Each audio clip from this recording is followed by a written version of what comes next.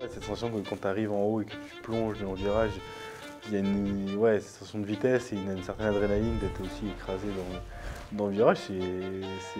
C'est assez plaisant et moi j'aime bien.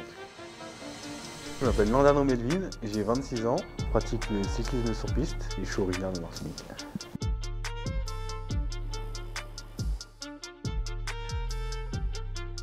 C'est assez impressionnant quand on regarde d'en haut ou d'en bas. Quand on est dessus, on a moins cette sensation de pente parce que forcément on est, est sur vélo et on est sur la, pente. La vitesse par équipe, c'est la discipline RM qu'on joue sur la, sur la piste et c'est l'entrée euh, au jeu. C'est un objectif de carrière forcément, surtout à Paris. Tout le monde va vouloir y être. Du coup, en vitesse par équipe, nous, on a une vraie chance de médaille. Il faut que la France, en vitesse par équipe, a toujours ramené une médaille. Du coup, on arrive sur des jeux euh, en vitesse par équipe, on n'a pas le choix en fait, de ramener une médaille. On ne veut pas être la première euh, génération à pas, à pas avoir ramené euh, cette médaille. Donc, il faut le prendre comme une motivation et de toute façon, il n'y a pas le choix, donc il faut le faire.